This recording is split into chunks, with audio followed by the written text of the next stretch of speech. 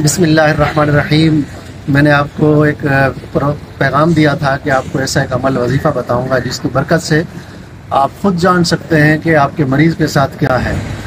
इस वक्त लोग यूँ परेशान होते हैं कि हर किस्म के टेस्ट भी करा लिए हैं और पता नहीं मुझे क्या है, ना तो कुछ अफाका हो रहा है, इलाज कर रहा हूँ, कुछ फ़ायदा नहीं हो रहा। और बस अवकात कभी किसी आमिल के पास चले जाते हैं, दो नंबर आमिल होता है और वो कुछ बोल देता है कि जादू है और फिर उसके ऊपर वो पैसे लेता है और इलाज करता है। और कोई कहता है, जनाब, इसकी काट होगी और इसके, आपके साथ जिन्नात का मामला है और ये ये मसला है।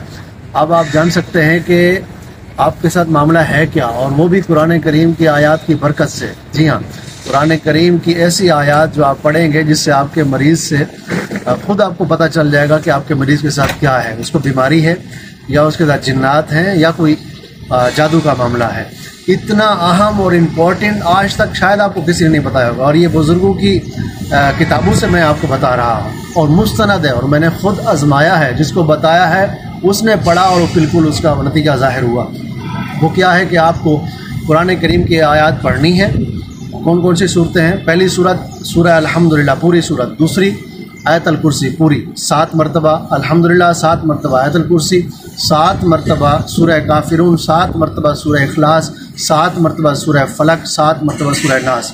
ये सारी सूरतें सात सात बार पढ़नी हैं और अपने मरीज़ पर दम करेंगे तो इन अज़ीज़, अब क्या होगा? अब ये होगा, अगर वो जो मर्ज़ है, उसकी जो तकलीफ़ है, आपकी जो तकलीफ़ है, जो मर्ज़ है, अगर वो बढ़ जाए तो फिर जादू का असर है।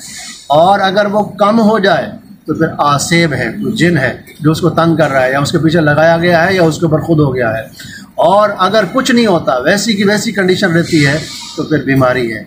ये इंतहाई अहम और ज़रूरी आपके लिए कहिए कि इस दुनिया में इंटरनेट की दुनिया, रूहानी दुनिया में, आप इसको आगे शेयर भी करें, हमारे पेज को लाइक भी करें फॉलो करें। इन ऐसी मुस्तनद चीज़ें पुराने करीम से कि आपको पता चले कि इसको नज़र, हर बंदा के इसको नज़र है, कारोबार पे नज़र है, क्या नज़र है कि नहीं है, किसी की नज़र लगी है कि नहीं लगी, ये भी इंशाल्लाह हम पुराने करीम से आपको बताएँगे। हाँ अब अगर जादू है तो इसका क्या इलाज है? ये इनशाला हम आने वाली वीडियो में बताएँगे। जिन्नात हैं, जिन्नात से महफूज रहने का क्या तरीका है? ये हमारे चैनल के ऊपर वीडियो मौजूद है। उससे आप अमल करें तो इनशाला आपको अफाका होगा। बीमारी से इलाज की वीडियो मौजूद है। उस पर अगर बीमारी का इशारा होता है तो उस पर अमल कीजिए। इन अज़ीज़, आपको फ़ायदा होगा और हमारी दीगर वीडियो भी देखेंगे तो इन आपको फ़ायदा होगा। और मज़ीद इन अज़ीज़, इन तीनों चीज़ों के इलाज, बीमारी का, जादू का और आसेब का। मैं इन शजीज़ मज़ीद वीडियो बनाकर भी अपलोड करूँगा, जिससे इन शजीज़ आप घर बैठे इस किस्म का इलाज खुद कर सकेंगे। सल्लू हबीब सल्ला